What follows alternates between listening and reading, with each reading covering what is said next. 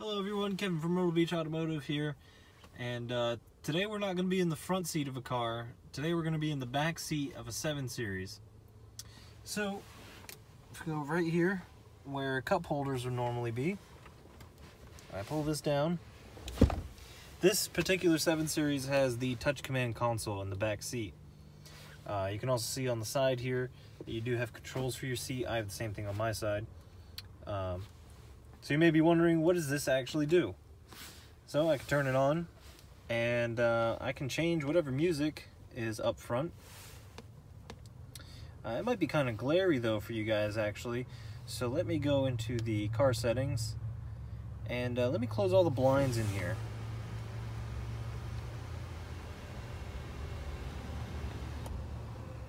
That should be a little bit better.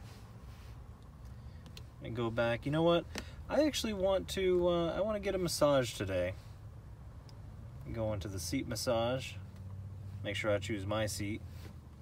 And whole body exercise, sure. Let me put that all the way up. Get comfortable during this video. Uh, let's see, interior lighting. Eh, purple's fine, but maybe we'll go blue today. Go back to the home page. No? Done listening to Rihanna for right now. Uh, Justin Bieber, anyone? Let's listen to that.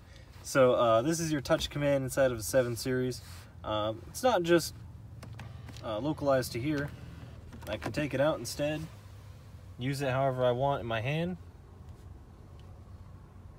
And uh, some cars are equipped with a digital display back here on the seats.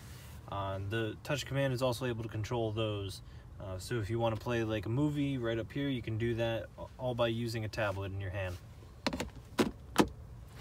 Much easier to use, especially while you're in the back seat because you obviously can't reach up front. Really cool feature inside the 7 Series. BMW did a great job.